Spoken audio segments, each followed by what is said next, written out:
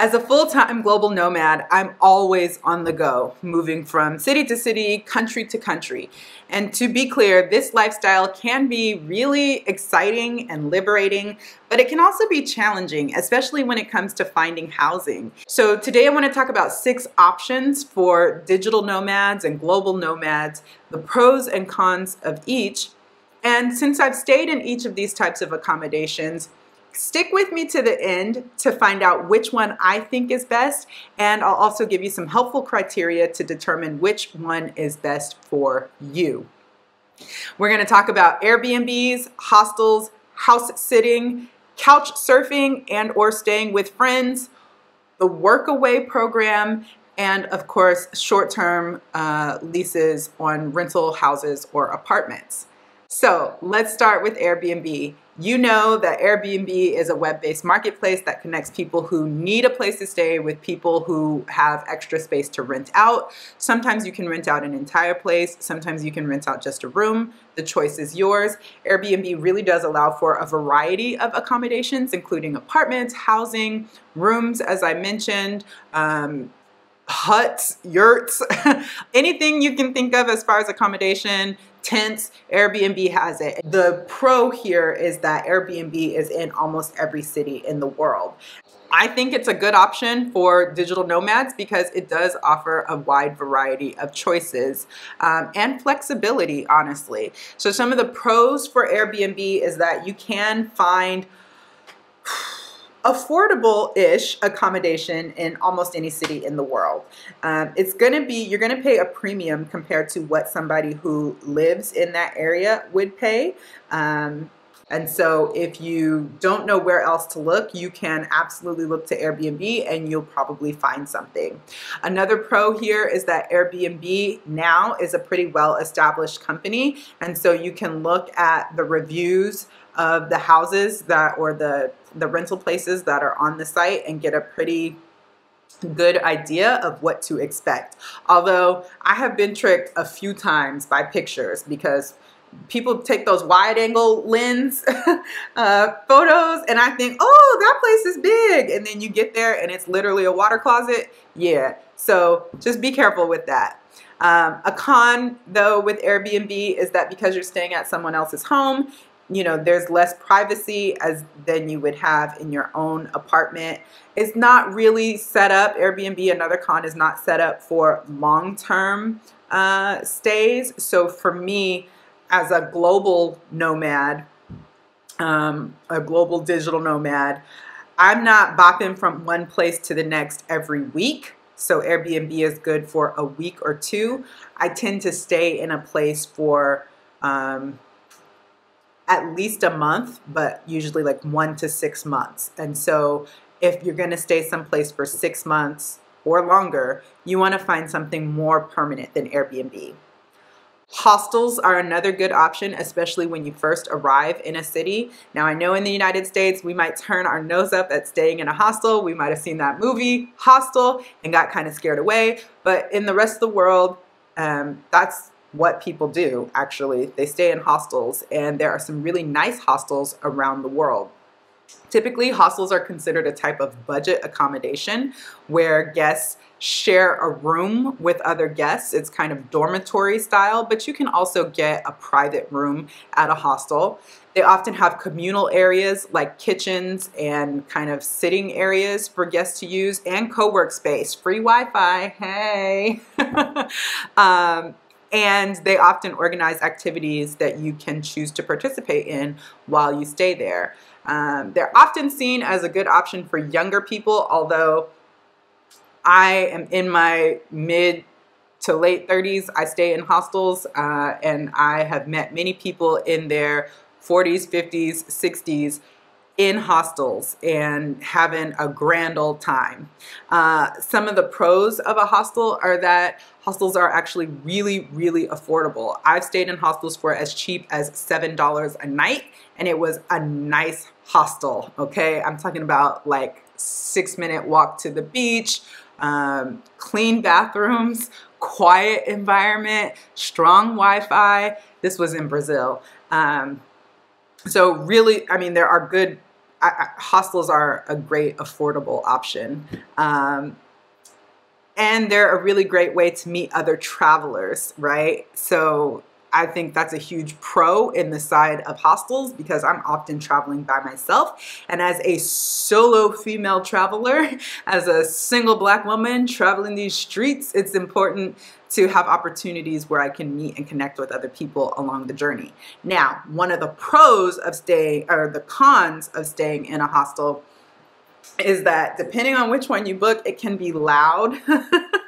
and you may not have a private bathroom. You might have to share a bathroom. Um, so sometimes you might be in a dorm as small as like four people in a room, four people sharing a single bathroom. Or you might be in one like I was in in Porto, Portugal, where there were 14 people and we shared, well, there were four bathrooms. So 14 people and we shared four bathrooms.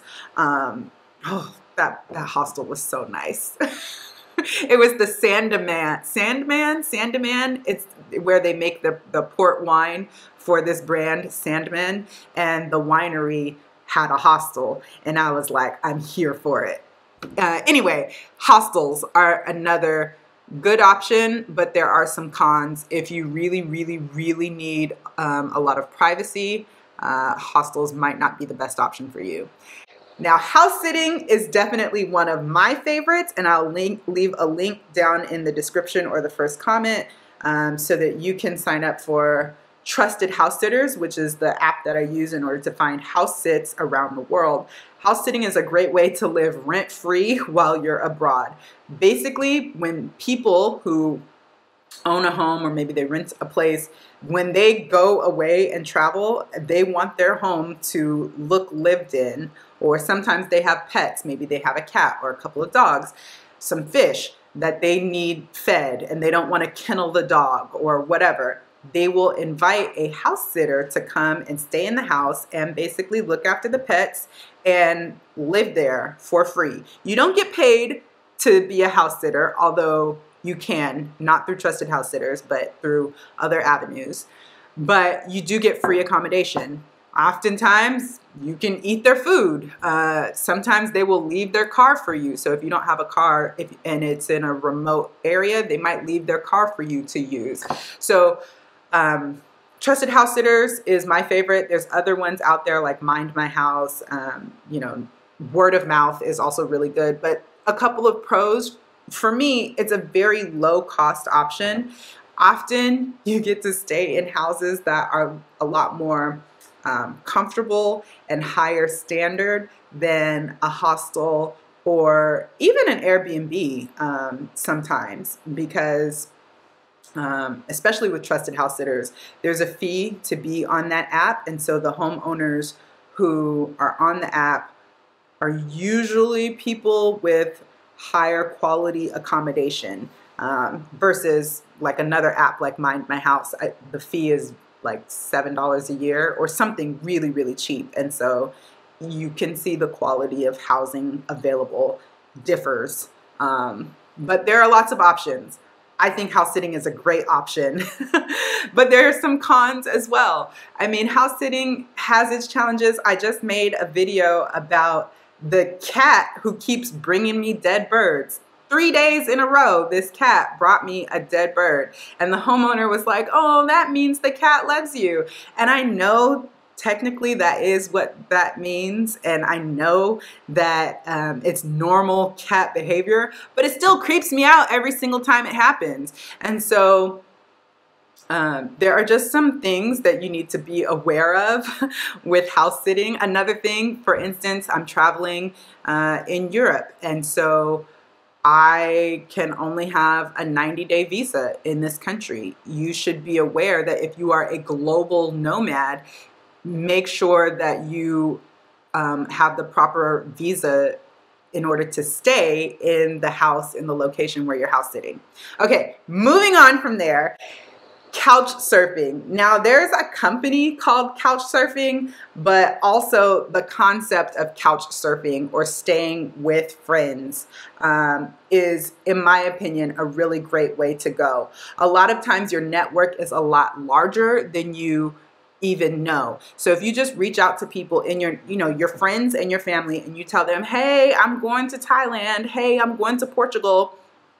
Then they may say, "Oh, I used to work with somebody who has a sister in uh Belize, right? Maybe I'm going to Belize. Oh, I, know somebody who knows somebody who knows somebody in Belize. They're good people. You should reach out to them. So then you get connected to this person. Now you have a friendly face in that location, potentially someone to stay with for a little while while you're there. Even if you don't end up staying with that person, I think it's always a good idea to pulse your network and to see who knows who, and maybe you can make connections in the place where you're going. I know that in my years of traveling, I've met lots of people and I've ended up staying with complete strangers. The very first time that I went to Colombia, I stayed with my cousin's coworker. They had been coworkers for two weeks. My cousin's coworker's sister. So my cousin in I was living in California, my cousin in Chicago, his coworker that he had just met after 2 weeks had a sister. They were Colombian. She lived in Bogota and we went and stayed with her and her husband in Bogota and it was the best experience that I could have hoped for. I mean, they showed us all around. We cooked together. We were all similar age groups, so we just we went out together. We had a good time. And that is what um, pulsing your network and couch surfing can do for you. A few years after that, they had a friend who was traveling in the States, and he came and stayed with me for two weeks um, while he visited the States. And then I drove him, he came to Northern California, and, I, and then I drove him to San Francisco so that he could hang out and stay a couple weeks with some other people. So we didn't know each other all that well. None of us did. But this is the bond that you build with people when you are traveling and the one of the pros in my opinion of couch surfing. Now the con here honey, there is a con, okay? It may not be as comfortable or as clean as your standards um, because everybody has their own different standards. So you do have to kind of be aware that that's a possibility. They could be really, really clean or they, it could be a really, really comfortable place, but you just, you don't know. Um, and also it requires being really respectful of that person's space because this is not a stranger that you are staying with now. This is now a person who is part of your network and so the way that you behave, um, you have to behave like a friend because you have to behave as if this relationship is going to continue. Because even if you never talk to that person again, the reputation that you or the impression that you leave follows you. They they're going to report back like if I had went to Bogota and acted a John Brown fool, then my cousin's coworker's sister would have told her sister and it would have got back to my cousin, right? It's just not a good idea. So one of the cons is that um, it, it, it could be a pro or a con, but you have to, you know, you want to be on your best behavior. okay, the Workaway program. Workaway is a program that connects travelers with hosts who need help with some kind of project or work for a short period of time. You can go to Workaway, it's a website, and they have a whole bunch of opportunities listed. And what you do, a lot of times it's like, I need help painting my barn, or um, I need help learning English. Can you come and stay with us for uh, three months and spend an hour a day talking with us in English so that we can practice, right? Or there's just a variety of opportunities, but it really it is um, work. Some of the opportunities are paid, some of them are not, but it always involves housing. Um, I think Workaway is a great way to immerse yourself in the local culture and save a little bit of money on your trip. Uh, it's also a great way to really meet new people and to make new connections and to learn new skills, right? Uh, so if you want to learn sheep herding, Uh, there's a place for that. If you want to learn about calligraphy, you can go and be an apprentice calligrapher and have free housing um, while you work in this calligraphy studio. And oftentimes it's not like an eight hour workday, it's like one to three hours a day. And then you have the rest of your time free to do whatever else you want. Um, and it's a really great way to see how other people around the world live.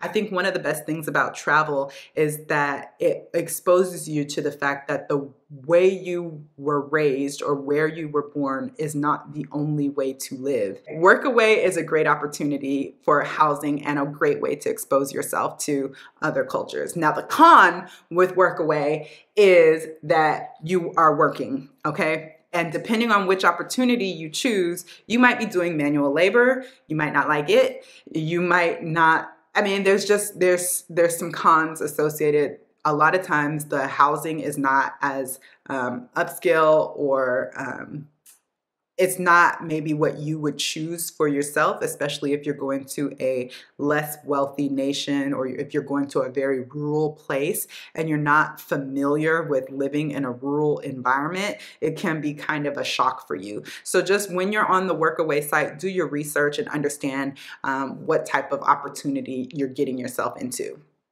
Now, finally, short term leases on rental houses and apartments. For me, this is the option that I prefer. Second to house sitting. House sitting is my number one choice, to be honest. Um, but second to house sitting, I do like a short term uh, rental. So, like a six month. Uh, I try to get a month to month lease if I can. And I've been very fortunate that even in places like in Mexico where they want um, a guarantor basically like a cosigner, or they want you to have a six month or a year lease, or sometimes they want you to pay up front. Even in those places, I've been very blessed and fortunate to find um, people that were willing to rent to me on a month to month basis, no upfront deposit, just like really good experiences. A lot of that has come through pulsing my network and also like just walking around in the streets and calling the numbers where it says, you know, for rent.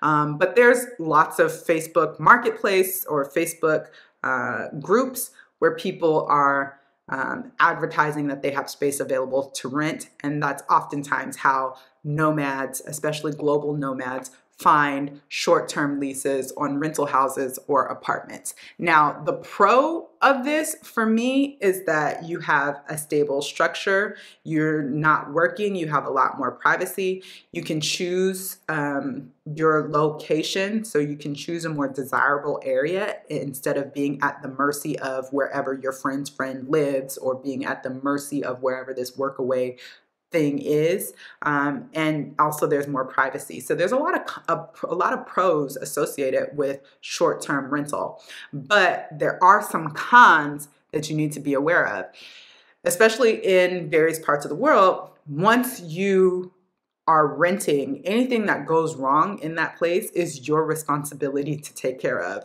So if the refrigerator breaks while you're living there, the landlord's like, okay, so deal with it, fix it. And sometimes it's not even anything as big as that, but um, a lot, a lot, it depends on where you are. But a lot of times, like once you live there, it is your responsibility until you leave, right? So be aware of that. And also rules and laws and just kind of that contract, what is the responsibility of the landlord versus what is your responsibility, can be very different than what you're used to if you're coming from the United States, for example. So just plan ahead, um, do your research, and maybe talk to someone uh, who has lived it, you know, an expat or a nomad who has lived in that area for a while so that you know what questions to ask before you sign a lease or before you move into a short-term rental place. So how do you choose the best option for you when looking for housing as a digital nomad? Of course, there are a few things that you have to consider, like what's your budget, what kind of amenities do you need, what kind of location do you want, and how long do you plan to stay in a place. But another thing that I think is really important is to look at what I call the components of place. Okay, so there is the physical location. Where is this place geographically? Um, and then there are the activities that take place, activities and amenities that happen there. And then there's like the meaning associated with it. All three of those things are very important when you're considering where to live. And so, physical, geographic location. For me, that's things like am I a city person or a rural person, right? Um, what, which city, which location, um, where in that city? Am I going to be in the center of town or I'm going to be kind of on the outskirts of town? Is it walkable? All those physical things are important. Then the amenities and services. Amenities kind of like is it the walkability is important is there good public transportation how strong is the wi-fi does the wi-fi go out when it rains um, you know, is there, is this on a, a, a, loud parade route that happens every Thursday? Different things like that. You know, are, is there a grocery store nearby? Uh, all those kinds of things. Like, what are the services and amenities? And then the third component is meaning when you choose a place to live, you do need to, especially if you're not from the area, you need to consider what does it mean for you to live there. Once you've considered all these factors, then you can start narrowing down your your options. And honestly, if money is no option, then you have a lot more freedom in choosing where to stay. But if you're like me, where you're not a budget traveler, but you do have a budget, so you're not looking for the cheapest thing out there, but you need to live within your means, then you'll need to be a little bit more selective. And in my opinion, hands down, the best option is house sitting especially because there are so many options all over the world um, and you can be really selective about the physical location the amenities and services happening in that location and the meaning. What does it mean for me to live and be in that place? Um, so yeah you know, basically, final thoughts when choosing housing as a digital nomad, there's a lot of factors to consider. Um, you definitely want to take into account your budget, location preferences, desired amenities, all that stuff. But most importantly, I think that you should be flexible when considering which type of housing to choose. And you should think about what suits your needs most. Maybe you're in a mode where you want to have an, an, an, adventure and then work away or a hostel might be a better option for you rather than a short term rental. Maybe you're in a mode where you are looking to not be a nomad anymore, but you actually want to immigrate to that place. Then you might want to find a um, specific a short-term rental so you can see what is it like to actually rent there. No matter what your budget or needs are, there's really an option out there that will work for you. And the most important thing is to do your research ahead of time so that you know what to expect. You know me, guys. I want us to go where we feel most alive and to only have positive surprises when we get there. That's what this channel is about is preparing you for a life as a digital nomad or an expat. If you're interested in more content about how to go where you feel most alive, watch this video and subscribe. Thank you.